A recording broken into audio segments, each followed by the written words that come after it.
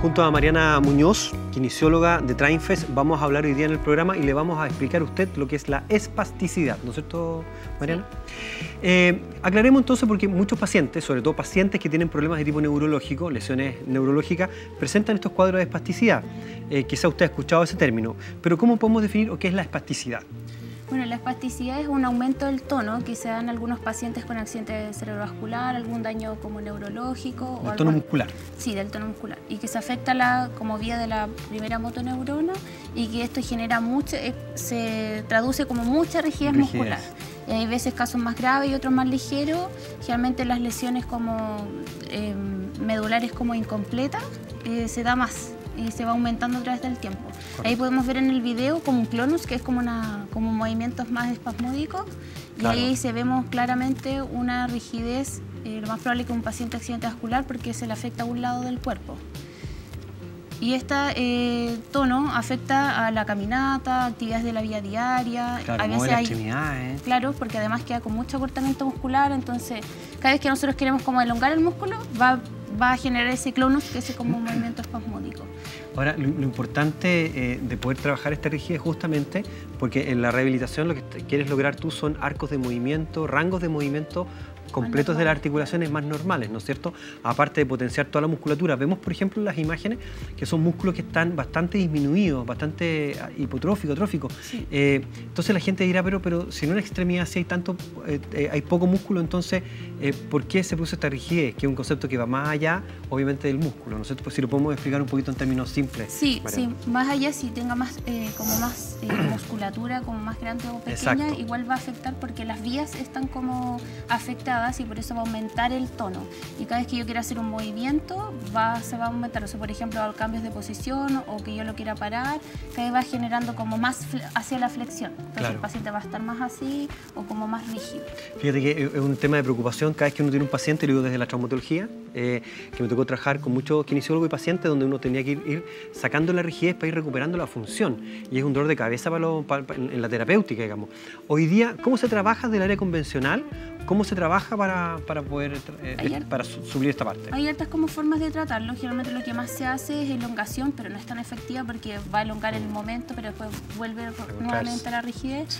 Eh, hay tratamientos como farmacológicos, como baclofeno. Hay otras bombas que se ponen como intraabdominal y secreta como es este fármaco cada cierto tiempo para que eh, tenga un tono más bajo durante el día, que permanezca más. Se puede ocupar punción seca también porque a veces la espasticidad mucho más grave genera mucho tono y ya los pacientes no se pueden mover. Entonces, además, muy doloroso para los pacientes y mm. menos para también hacer ejercicio. Entonces, lo que nosotros entregamos es como una alternativa para la electroestimulación eh, funcional, que es el FES, y eh, permite eh, trabajar en la espasticidad bajando el tono. Eso. Tú hablas de todo lo que existe hasta ahora, de todo lo más convencional, Mariana. Ahora, la tecnología FES, ¿qué permite agregar o mejorar en cuanto a tiempo, calidad del tratamiento? ¿Por, dónde va? Mira, en una primera instancia eh, hacemos que los pacientes se adecuen a la corriente y que permita eh, trabajar el tono muscular a través de como, como que trabajan el reflejo autógeno, entonces disminuye el tono y permite que los pacientes puedan moverse más. Pues los pacientes tienen que vencer como doble resistencia, como la espasticidad y aparte empezar a activar por sí solo.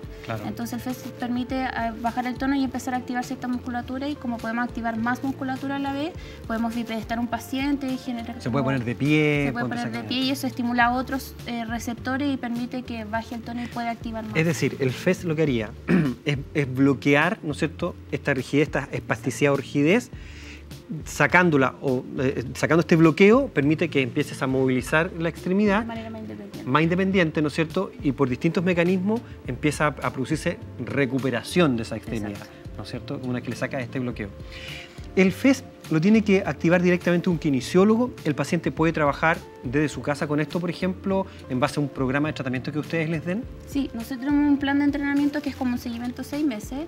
Entonces ellos adquieren el equipo y lo capacitamos a él cómo ocuparlo. De hecho, es súper fácil ocuparlo porque se puede descargar una aplicación del teléfono. Correcto. O a veces nosotros le proporcionamos una tablet para que ellos sepan cómo ocupar el equipo, cómo ponérselos, cómo poner los electrodos, qué ejercicios hacer, qué, hacer en primeras etapas y después otras etapas más eh, posteriores y, y capacitamos a sus familiares para que lo ayuden a entrenar o a los kinesiólogos o el grupo como profesional que tenga el Tú como terapeuta, porque acá también es súper importante el tiempo que tu paciente le dedica a esto, ¿no es cierto? Es, directamente proporcional. Cuando los pacientes están comprometidos con su rehabilitación, con su mejoría, uno lo va notando desde el punto de vista clínico, médico.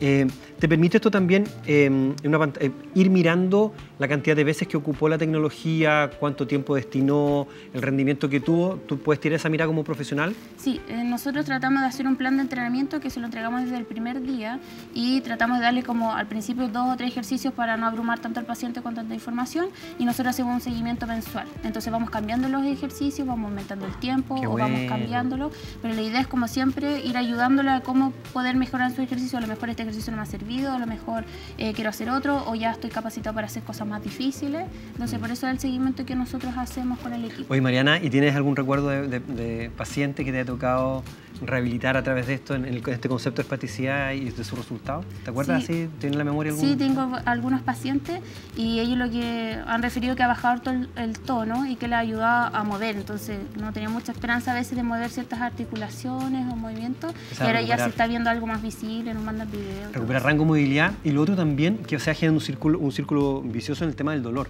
Una vez que vas liberando el tema de la, de la espasticidad, también vas mejorando componentes de dolor bastante importantes, por lo tanto, también va repercutiendo en el tema doloroso, ¿no?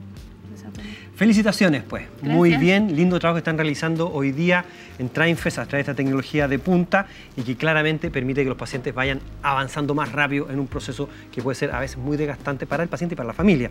Eh, Trainfest, digamos la página web www entonces trainfest.com, donde usted puede ver estos equipos de última tecnología disponibles hoy día en nuestro país, creadores nacionales que hoy día no solamente están dando que hablar en el país, sino que también en el resto del mundo. Tecnología disponible hoy día entonces a través de trainfest.com. Ahí está la página web. Muchísimas gracias Mariana por ponernos al día hoy día en las tecnologías y en la rehabilitación. Hacemos la pausa y estamos en un ratito de vuelta con ustedes.